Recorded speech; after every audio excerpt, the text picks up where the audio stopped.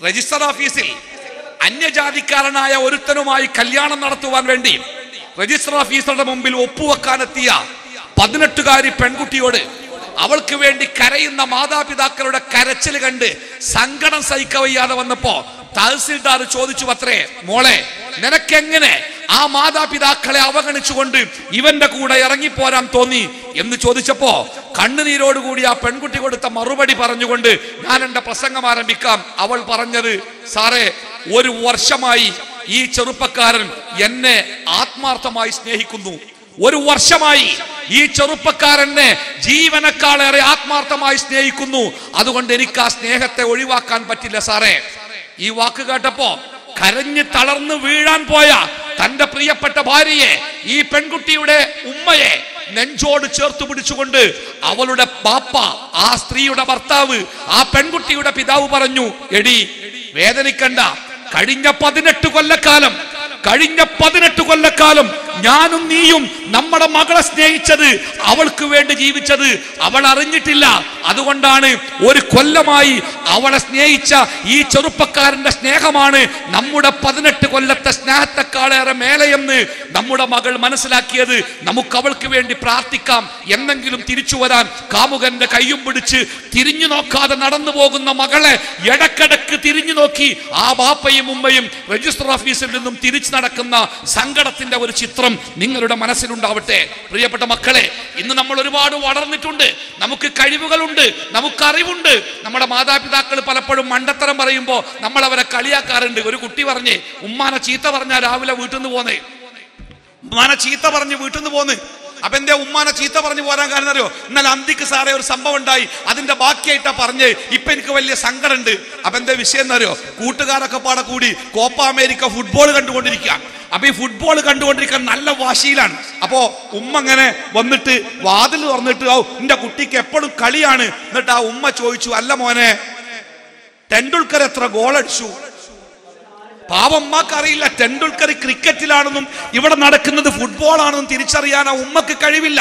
ഉമ്മയുടെ അറിവ് അത്രയേ ഉള്ളൂ. പക്ഷേ അത് മകന്റെ അഭിമാനത്തിന് വല്ലാത്ത ക്ഷതമായി അവൻ ഉമ്മയോട് വഴക്കിട്ടു. അന്ന് ചോറ് തിന്നാതെ കിടന്നുറങ്ങി. പിറ്റേന്ന് രാവിലെ രാത്രി ചോറുണ്ണാത്ത മകനു വേണ്ടി പുതിയ ഭക്ഷണം ഉണ്ടാക്കി കാത്തിരിക്കുന്ന ഉമ്മ ഉമ്മ കൊടുത്ത ഭക്ഷണം കഴിക്കാതെ സ്കൂളിലേക്ക് ഇറങ്ങിപ്പോയ മകൻ ആ ഉമ്മ എന്നെ വിളിച്ചു. സാറേ എന്റെ മകൻ എന്റെ മകൻ എന്നോട് മിണ്ടാതെ പോയിട്ടുണ്ട്. തിരിച്ചു വരൂല എന്ന് പറഞ്ഞിട്ടുണ്ട്. നിങ്ങൾ എന്റെ മകനുമായിട്ടൊന്ന് ബന്ധപ്പെടുമോ എന്ന് ചോദിച്ചുകൊണ്ടാണ് ഉമ്മ വിളിച്ചത്. കണ്ണീരോടുകൂടി കാത്തിരിക്കുകയാണ് ഉമ്മ. ദേഷ്യം പിടിച്ചു പോയ മകന് വേണ്ടി. മകനെ ഞാൻ വിളിച്ചു. മകൻ എന്നോട് പറഞ്ഞത് സാറേ എനിക്ക് ഉമ്മാനോട് ദേഷ്യം ഉണ്ടായിട്ടല്ല. ഞാൻ പലപ്പോഴും ഉമ്മാനോട് പറഞ്ഞിട്ടുണ്ട്. മണ്ടത്തരം പറയരുത്. പ്രത്യേകിച്ച് എന്റെ കൂട്ടുകാർക്ക് മുമ്പിൽ ആവശ്യമില്ലാത്ത കാര്യം എന്റെ ഉമ്മ ചോദിക്കേണ്ടതുണ്ടോ? ഞാൻ ആ ഉമ്മയോട് പറഞ്ഞു ഉമ്മ മോൻ എങ്ങനെ ഒരു പരാതി പറഞ്ഞു. ആ ഉമ്മ പറഞ്ഞു സാറേ ഞാൻ എന്റെ മകനെ സന്തോഷിപ്പിക്കാൻ വേണ്ടി ചോദിച്ചതാണ്. അതൊരു ദുരന്തമാകുമെന്ന് ഞാൻ ഓർത്തില്ലല്ലോ. പ്രിയപ്പെട്ട മക്കളെ നമുക്കൊരുപാട് വിവരമുണ്ട്. നമ്മൾ ഒരുപാട് മേലെ എത്തിയിട്ടുണ്ട് നമ്മുടെ മാതാപിതാക്കൾക്ക് ജീവിതത്തിൽ അറിയാത്ത കാര്യങ്ങൾ നമ്മുടെ വിരൽ തുമ്പത്തുണ്ട് ഇല്ലേ ഒരു സംശയം ഉണ്ടാവുമ്പോ ഉമ്മ ഒരു ഫോൺ ഇങ്ങനെ നെക്കിയിട്ട് എന്നാ മൂന്ന് വയസ്സുള്ള കുട്ടിന്റെ കൈ കൊടുക്കുക മോനെ ദാ നെക്കിങ്ങാണ്ട് ബാപ്പാന്റെ നമ്പർ ഒന്ന് എടുത്താ. ഉമ്മക്കറിയില്ല ബാപ്പാന്റെ നമ്പർ എവിടെയാണ് സെർച്ച് ചെയ്യേണ്ടത് അതിന് ഏത് അക്ഷരങ്ങളാണ് നെക്കേണ്ടത് എന്ന് ഉമ്മക്കറിയില്ല. പക്ഷേ മൂന്നും നാലും വയസ്സുള്ള പ്രീ സ്കൂളിൽ പഠിക്കുന്ന കുട്ടിക്കറിയാം എവിടെയാണ് നെക്കേണ്ടത് എന്താണ് എടുക്കേണ്ടത് മക്കളെ. നമ്മൾ വളർന്നിട്ടുണ്ട് ഒരുപാട് വലുതായിട്ടുണ്ട് പക്ഷേ നമ്മുടെ വളർച്ചകൾ നമ്മുടെ വലുതാകലുകൾ നമ്മളുടെ ഈ തിളക്കങ്ങൾ അവരുടെ കണ്ണീരാണ് അവരുടെ വയർപ്പാണ് അവരുടെ അധ്വാനമാണ് അവരുടെ ക്ഷീണങ്ങളാണ് അവരുടെ പ്രയാസങ്ങളാണ്. പോരാ അവരുടെ ചോരയാണ്. എനിക്കറിയോ ഈ ലോകത്ത് നമ്മൾ പിറന്നു വീണപ്പോ ലോകത്തിലെ ഏറ്റവും കഴിവുകെട്ട ജീവിയായിട്ട് ഭൂമിയിൽ പിറന്നു വീണവരാണ് നമ്മളല്ലേ? ഒരു കോഴിക്കുട്ട ആ കോഴിമുട്ട വിരിഞ്ഞ് ആ കോഴിക്കുഞ്ഞിന് ഒരു കോഴിക്കുഞ്ഞ് പുറത്തു വരുന്നത് നിങ്ങൾ ആരെങ്കിലും ശ്രദ്ധിച്ചു നോക്കിയിട്ടുണ്ടോ? ഒരു കോഴിമുട്ട അത് മെല്ലെ ഒരു പൊട്ട് അത് വിരിയാനാവുമ്പോ കോഴിത്തള്ള അതിന്റെ മേലെ ഒരു കൊത്തു കൊത്തും ചെറിയ ഒരു ഓട്ട ആ ഓട്ടങ്ങനെ പതുക്കെ വലുതാക്കി തന്റെ ചുണ്ടുകൊണ്ട് ആ കോഴിമുട്ടത്തോട് പൊട്ടിച്ച് ആ കോഴിക്കുഞ്ഞ് പുറത്തേക്ക് വരും. നിങ്ങൾ ആ കാഴ്ച കണ്ടിട്ടുണ്ടോ? കോഴിമുട്ടത്തോട് പൊട്ടിച്ചിട്ട് ആ കോഴിക്കുഞ്ഞ് പുറത്തേക്ക് വരുമ്പോ മുട്ടയുടെ ഉള്ളിൽ നിന്ന് ഒന്നും ഇങ്ങോട്ട് ഉരുണ്ട് വീഴും ആ കോഴിക്കുഞ്ഞ്. ഉരുണ്ടു വീഴ ഉടനെ തന്നെ ആ കോഴിക്കുഞ്ഞ് നേരെ നിൽക്കും. നേരെ നിന്നിട്ട് കിയോം കിയോം എന്ന് പറഞ്ഞിട്ട് തന്റെ അമ്മ കോഴിയുടെ അടുത്തേക്ക് ആ കോഴിക്കുഞ്ഞ് നടന്നു പോകും. ജനിച്ചു വീണ് ഒന്നോ രണ്ടോ സെക്കൻഡ് കൊണ്ട് ആ കോഴിക്കുഞ്ഞ് തന്റെ അമ്മയുടെ അടുത്തേക്ക് തന്റെ കാലിൽ നടന്ന് നടന്ന് ചെല്ലുമെങ്കിൽ പ്രിയപ്പെട്ട മക്കളെ നമ്മളൊക്കെ രണ്ട് കാലിൽ നടക്കാൻ രണ്ട് കാലിൽ നടക്കാൻ നമ്മുടെ ഉമ്മ നമ്മുടെ ബാപ്പ എത്ര കാലം നമ്മുടെ വിരൽ പിടിച്ച് നമ്മുടെ കൂടെ നടന്നിട്ടുണ്ട് എന്ന് നിങ്ങൾ ആരെങ്കിലും ആലോചിച്ച് നോക്കിയിട്ടുണ്ടോ ഒരു കോഴിക്കുഞ്ഞിന്റെ കഴിവ് പോലും ഇല്ലാത്ത ഒരു നായക്കുഞ്ഞിന്റെ കഴിവില്ലാത്ത ഒരു കാളക്കുഞ്ഞിന്റെ കഴിവില്ലാത്ത ഒരു പശുക്കുഞ്ഞിന്റെ കഴിവില്ലാത്ത ഒരു താറാവിന്റെ കുഞ്ഞിന്റെ കഴിവ് പോലുമില്ലാതെ ഈ ഭൂമിയിൽ പിറന്നു വീണ നമ്മളെ ഈ കാണുന്ന സന്തോഷത്തിന്റെ കഴിവിന്റെ അപാരതയിലേക്ക് കൊണ്ടുവരാൻ നമ്മുടെ മാതാപിതാക്കൾ ഒഴുക്കിയ കണ്ണീര് അവരുടെ ശ്രദ്ധ നിങ്ങൾ മറന്നുപോയോ? നിനക്കറിയോ നിനക്കറിയോ ദാ അയലിൽ മേലെ അയയിൽ തൂക്കിയിട്ടിരുന്ന ഒരു ഷാൾ. ആ ഷാൾ താഴേക്ക് വീണു. താഴേക്ക് വീണപ്പോ ചിരിച്ചുകൊണ്ട് ഇങ്ങനെ ഒച്ചണ്ടാക്കി കിടക്കുകയാണ് കുട്ടി. കുട്ടിയുടെ ഒച്ച കേൾക്കാതെ വന്നപ്പോ ഉമ്മ അടുക്കളയിൽ നിന്ന് ഓടി വന്നു.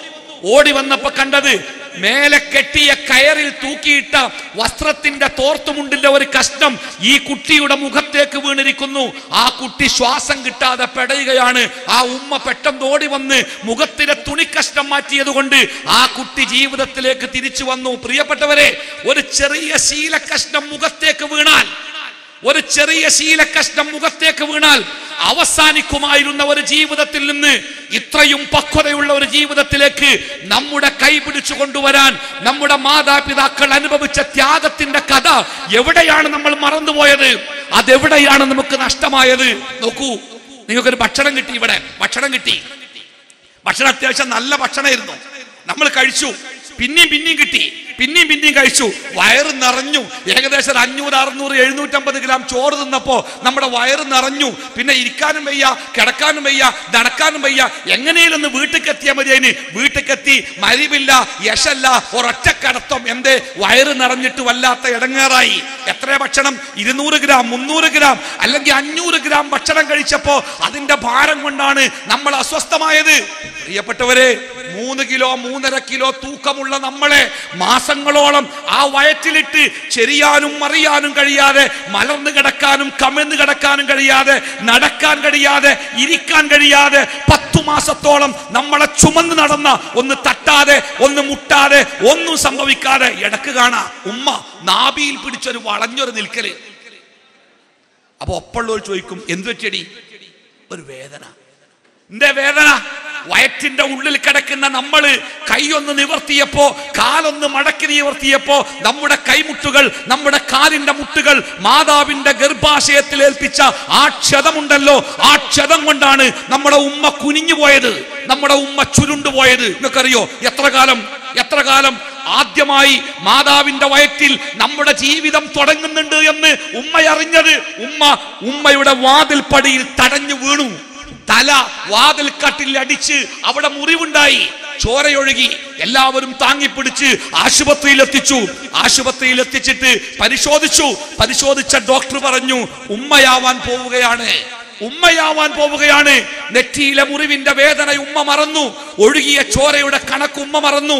വീണതിന്റെ വേദന ഉമ്മ മറഞ്ഞു സന്തോഷത്തോടു കൂടി തന്റെ വയറ്റത്ത് കൈവച്ചുകൊണ്ട് ആ ഉമ്മ പ്രാർത്ഥിച്ചു.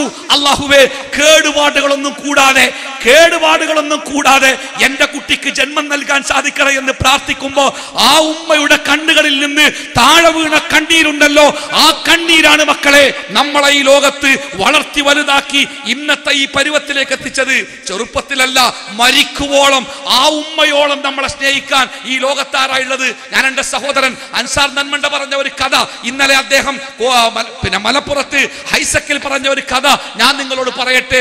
ഒരു മകന് വേണ്ടി ജീവിച്ച ഒരു മകന് വേണ്ടി ജീവിച്ച ഉമ്മ ആ മകൻ ഉയർന്ന ജോലി കിട്ടി വലിയ ജീവിത സാഹചര്യമായി അങ്ങനെ കല്യാണം കഴിഞ്ഞ് കുട്ടികളായി തന്റെ ഉമ്മ പാർക്കുന്ന പഴയ തറവാട്ട് വീട്ടിൽ പാർക്കാൻ ആ മകന് മടിയായി. കോഴിക്കോട് പട്ടണത്തിൽ അയാൾ ഫ്ലാറ്റ് എടുത്തു പട്ടണത്തിലേക്ക് താമസം മാറ്റി. അയാൾക്ക് മക്കളായി. വിദേശത്താണ്. സുഖമായി ജീവിക്കുന്നു. ഉമ്മയെ വല്ലാതെ കാണാറില്ല. ഉമ്മയെ വിളിക്കാറില്ല. ഉമ്മയുടെ അടുത്തേക്ക് പോകാറില്ല. ഉമ്മ പഴയ വീട്ടിൽ ചുരുണ്ടുകൂടി പാതി രോഗിയായി ജീവിച്ചു കൊണ്ടിരിക്കുന്നു. നോക്കൂ അയാൾക്ക് മാരകമായ ഒരു അസുഖം. ഭക്ഷണം കഴിച്ചാൽ അത് അങ്ങനെ തന്നെ പുറത്തു പോവുക. അവസാനം പരിശോധനയിൽ വിവരം കിട്ടിയത് വൻകുടലിൽ ക്യാൻസർ ബാധിച്ചിരിക്കുന്നു. ചികിത്സയുടെ സ്റ്റേജുകൾ അവസാനിച്ചിരിക്കുന്നു. ഇനി കടന്നു വരുന്ന മരണമല്ലാതെ മറ്റൊരാശ്വാസവുമില്ല എന്ന് ഡോക്ടർമാർ വിധി എഴുതിയപ്പോ ആ വിദേശത്ത് നിന്ന് അദ്ദേഹം തന്റെ കോഴിക്കോട് ഫ്ലാറ്റിലേക്ക് തിരിച്ചു വന്നപ്പോ രണ്ട് പെൺമക്കളെ കെട്ടിച്ചിട്ടുണ്ട്. അവരുടെ പുതിയാപ്പളമാർ ഫ്ലാറ്റിലുണ്ട്. അവർക്ക് താമസിക്കാനേ ഫ്ലാറ്റിൽ സ്ഥലമുള്ളൂ.